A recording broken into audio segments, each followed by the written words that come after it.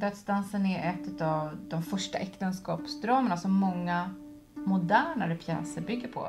Du är alltid ekonom. Och du är alltid snål. De är ett ganska isolerat par som har blivit väldigt ensamma ute på sin ö.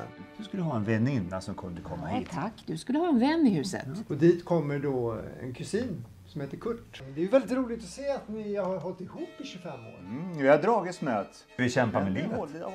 Och får, får ihop, försöker få ihop vårt äktenskap. Men jag svarar så 500 gånger. Då gäspar jag istället. Du är riktigt älskvärd ikväll. Jag då som kapten i föreställningen har också mycket existentiella frågor att brottas med. Om döden och livet. Och vad det består av. Om vi går vidare till någonting.